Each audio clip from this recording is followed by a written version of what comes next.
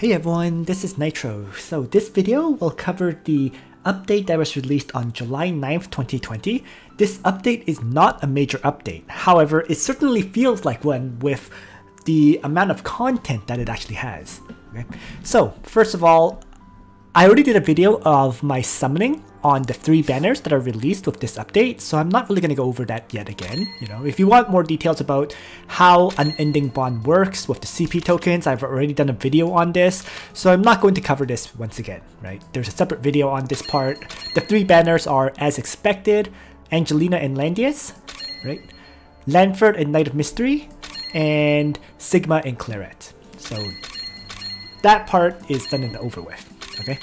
So other than that, there is with this new update, the Swimsuit Summer Festival event, right? It was announced with the major update, but they delayed starting this event until this week. So not too much to say about that. Um, I haven't done my videos of the battles yet, but if you jump into it, pretty much just like before, you're farming for points, okay? So you just do this event. Recommended heroes are listed here. Luna, Lana, Tiaris, Varna, Narm, Freya, Ferrokia, Hein, Matthew, and Almeida. Okay.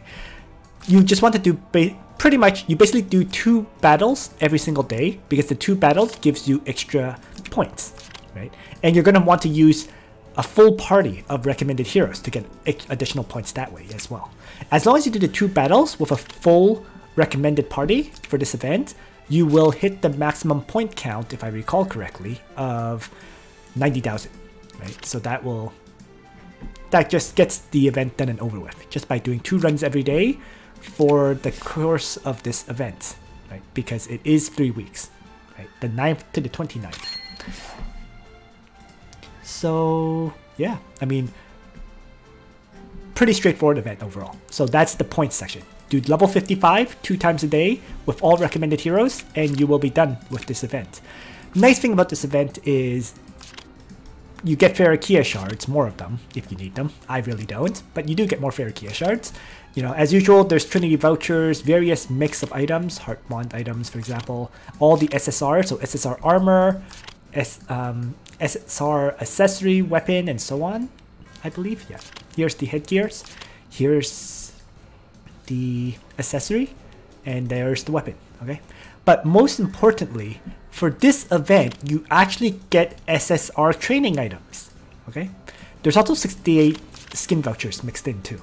So this is one of the better events for sure because SSR training materials is probably one of the items that everyone needs, right?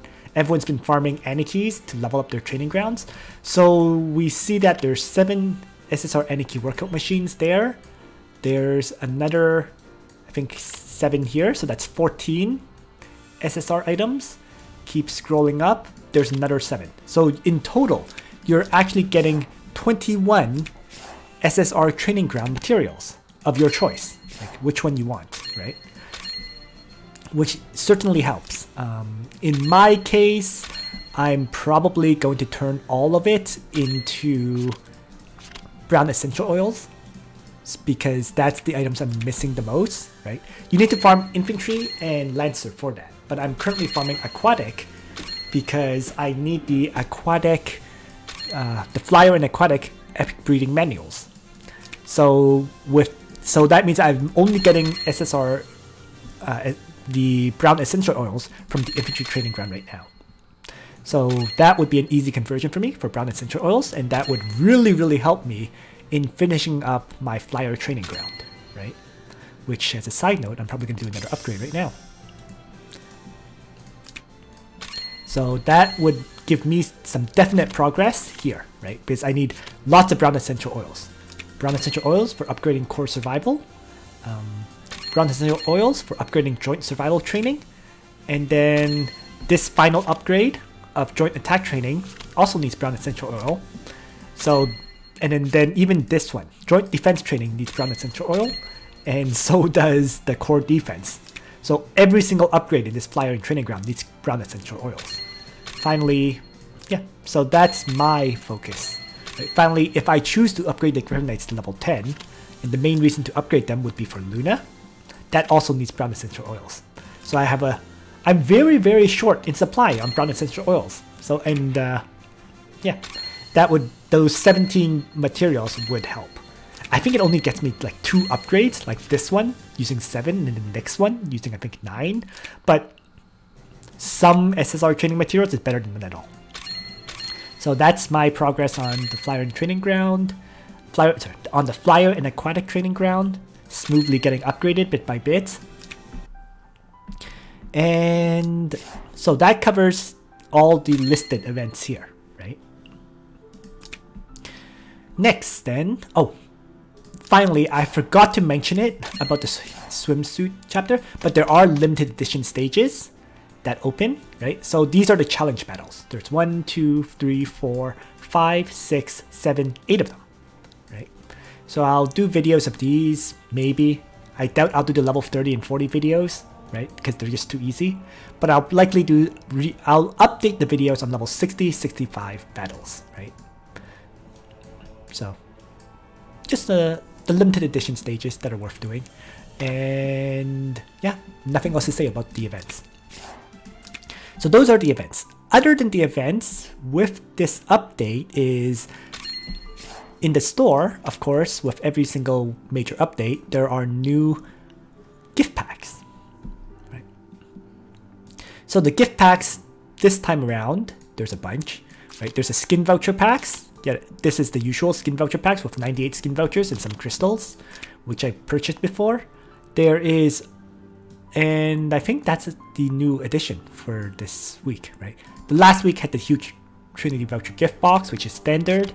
Uh, it had a class mastery gift box, which I believe is also standard for every month, and then an ultra value accessory pack, which is also standard. Right. The first week, or with every major update, it seems to uh, release these ones. Then the second week seems to always be skin voucher packs. So not too much to say about those. The other change, though, the final change, is the skins. There are three limited time skins currently on offer, which is Tiaris' Beach Babe skin, right? With the, I guess, rubber dolphin. Um, or there is the Varna skin, swimsuit skin, Shadow of Summer, and there is the Narm skin, Romantic Summer. Okay, surprisingly, Lana's skin is not up here right now, which is a bit of bit of a surprise, but I suspect they'll release it just probably maybe the following week. The most likely reason is because they don't want to have four new skins all available for purchase at once. At least that's what I think. But Lana's skin would be the Coastal Beauty skin. It looks like this.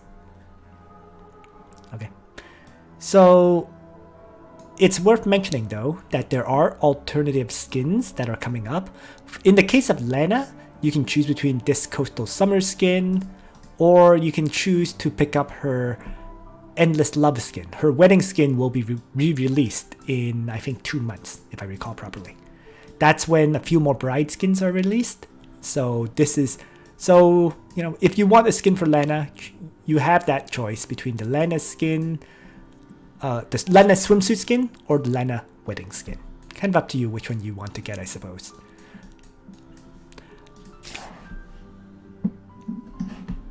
So then I should talk about the alternate skins for the other three heroes who currently have skins available. So Tiaris' is Beach Babe skin, right? The alternate skins have already occurred, which was her, you know, Easter skin, the Violet Moon skin, which I already purchased, so I have no real interest in getting Tiaris' swimsuit skin as a result. If you missed out on that skin though, you might very well choose to get her beach skin right now. So this is, so her alternate skin is I guess the one that's occurring right now.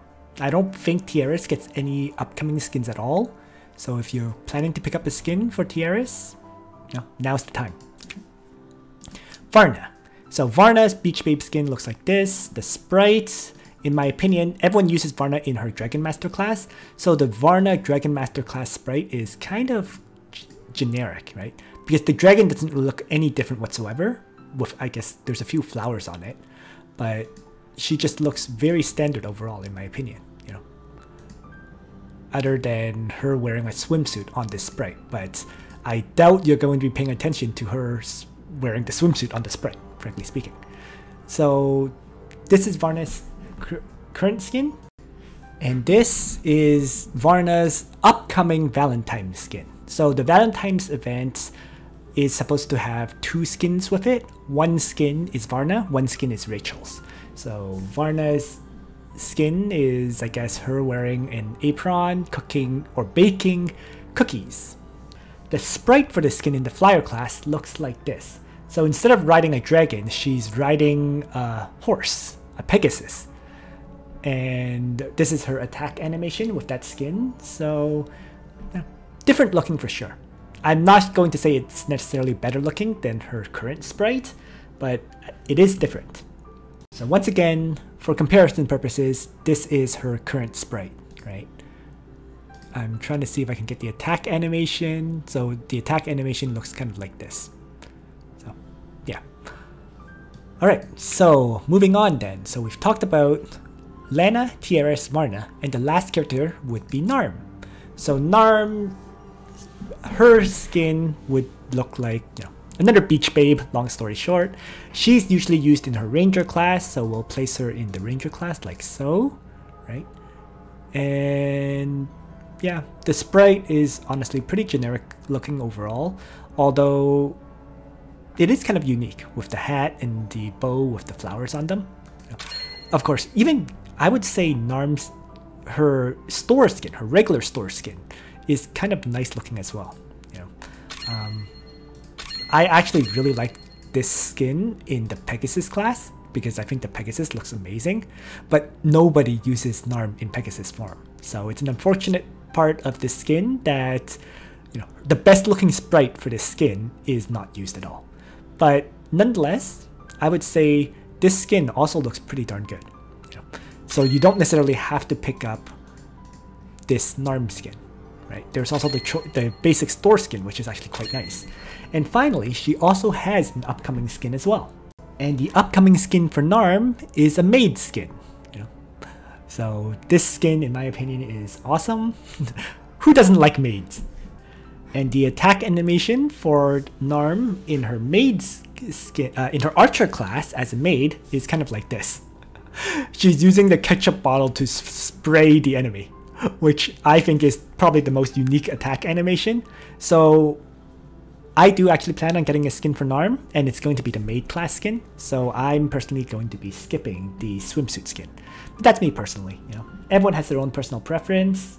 It's up to you which skin you want to pick. So that this is the last point that I want to cover in this video.